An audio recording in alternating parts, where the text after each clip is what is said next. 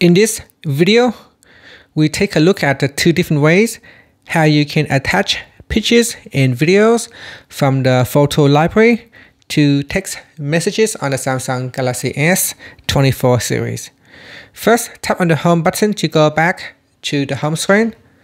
Now on the home screen, open up the picture gallery, then touch and hold on one of the pictures and once you are in a selection mode you can select multiple pictures.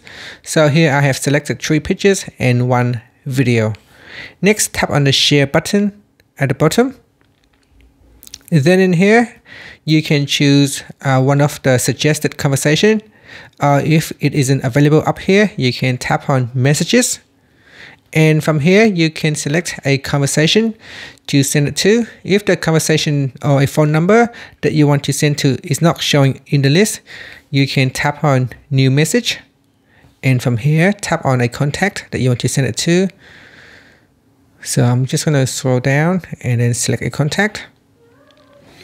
Next, tap on the send button, or if you want to add in some text to the message, you can do so. So here I'm going to put in camera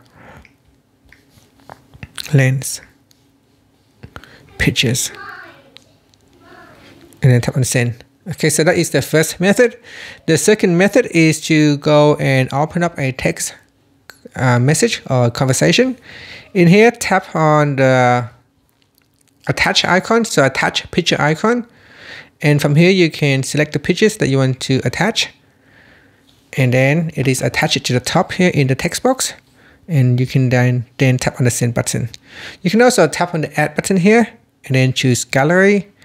And from here you can select a video or pictures. So tap on it. It will uh, immediately insert it into the text box at the top. And from there you can tap on the send button.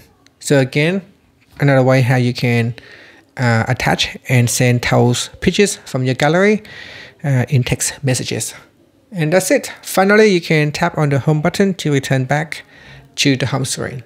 Thank you for watching this video. Please like and subscribe to my channel for my videos.